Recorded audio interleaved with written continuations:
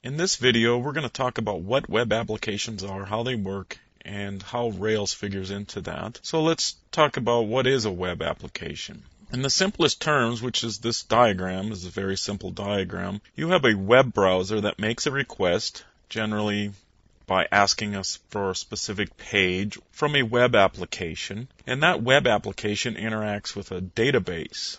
Now, the web application and the database may or may not exist on the same server, and that's really not germane to our training here. In what we're going to be doing, the database will be existing on the same machine. That just makes it easier for development purposes. In a production environment, uh, you'll have to work out whether there's that much strain on your server if they can exist in the same place. Now, once that web application makes the request to the database, it'll generate HTML and JavaScript and send that back to the web browser, which then renders that information coming back from the web application. And then is basically how you get view of data that's inside of a database.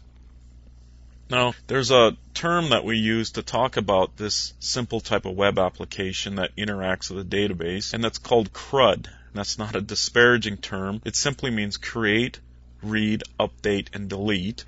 And this is a very simple interaction with a database where you're creating records, reading records, updating records, and deleting records. And there's many applications that we deal with that, that do this kind of interaction. Now, in general, web applications generate HTML and JavaScript that the web browser renders.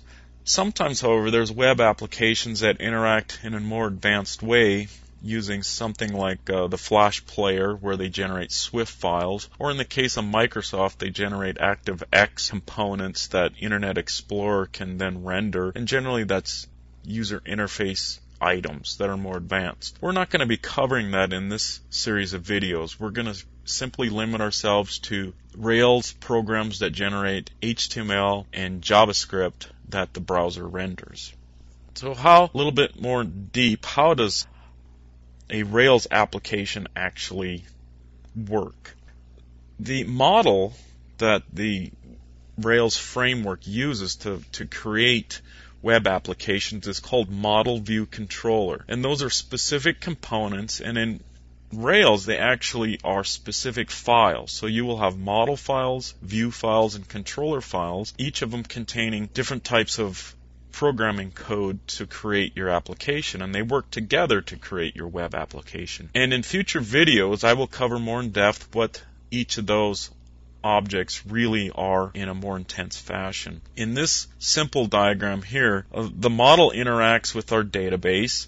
The view interacts and creates the HTML and JavaScript that our web browser generates, and our controller ties the model and the view together and is kind of the master controller for this stuff. So let's take a look at how a web browser interacts with this Ruby on Rails application. So a web browser makes a request, and that request goes to a controller, and that'll generally be just a, a URL and we'll see in future videos how that gets set up and constructed. That controller will interact with the model, and the model will interact with the database, giving us back information, live information from our database. The model will give that back to our controller. The controller will then at that point generate a view, and the view will finally kick back HTML and JavaScript to our web browser, which will display that information.